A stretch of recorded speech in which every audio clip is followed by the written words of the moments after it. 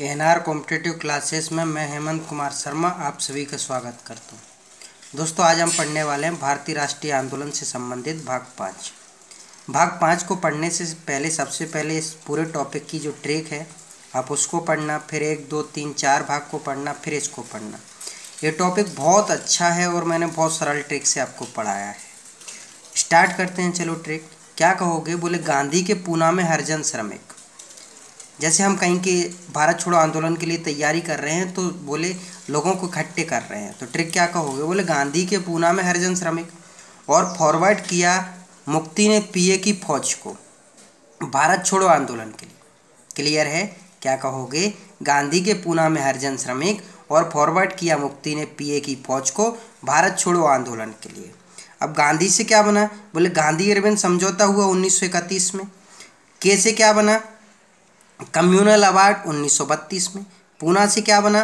Poona pact 1932 में। हरिजन से क्या बना?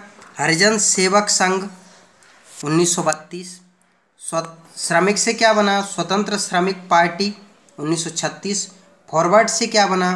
फॉरवर्ड ब्लॉक उन्नीस मुक्ति से क्या बना? मुक्ति दिवस उन्नीस पी से क्या बना? पाकिस्तान की मांग 1940 ए से क्या बना? अगस्त प्रस्ताव 1940 की से क्या बना? क्रिप्स मिशन का प्रस्ताव 1942 फौज से क्या बना? आज़ाद हिंद फौज 1942 भारत छोड़ो आंदोलन से क्या बना? भारत छोड़ो आंदोलन 1942 दोस्तों टॉपिक तो हमने ट्रिक पे ही कंप्लीट कर लिया। एक बार इनको नीचे फिर से देख लो। गांधी इरविन समझौता 1931 में हुआ। महात्मा गांधी और बायसराय इरविन के मध्य, संपन्न, तथा सविनय अवज्ञा आंदोलन को स्थगित करने की घोषणा। कम्युनल अवार्ड सांप्रदायिक पंचायत कब आया? 1932 में मैकडोनाल्ड द्वारा पृथक प्रतिनिधित्व प्रदान करना। Poona pact Yerawada central jail 1932 Gandhi ji और अंबेडकर के बीच एक समझौता, जिसमें, जिसके सांप्रदायिक पंचायत में दलितों के लिए प्रांतीय विधानसभा में पृथक निर्वाचन प्रणाली को समाप्त कर उनके लिए इकहत्तर के बदले 148 स्थान सुरक्षित रखे गए। आगे बात करते हैं। हरिजन सेवक संघ पुणे 1932 महात्मा गांधी। स्वतंत्र श्रमिक party 1936 doctor Ambedkar. Forward bloc उन्नीस सुभाष चंद्र बोस।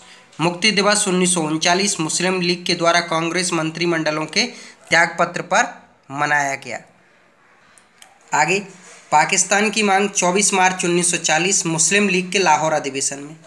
अगस्त प्रस्ताव 8 अगस्त 1940 बायसराय निर्लित को क्रिप्स मिशन का प्रस्ताव, मार्च 1942 स्टीफोर्ड क्रिप्स। आज़ाद हिंद फौज 1942 रास बिहारी बोस। भारत छोड़ो प्रस्ताव 8 अगस्त 1942 महात्मा गांधी। दोस्तों, बहुत अच्छा टॉपिक है। ये मैं छः भाग में इनके वीडियो बनाने वाला हूँ। सारे आप सबसे पहले ट्रिक पढ़ लेना, फिर सबको क्रम से पढ़ लेना, जिससे आपको पूरे टॉपिक क्लियर हो जाएगा। दोस्तों, अगर आपको मेरे वीडियो पसंद आते हो तो प्लीज़ चैनल को लाइक शेयर एंड सब्सक्राइब ज़रूर करना। धन्यवाद।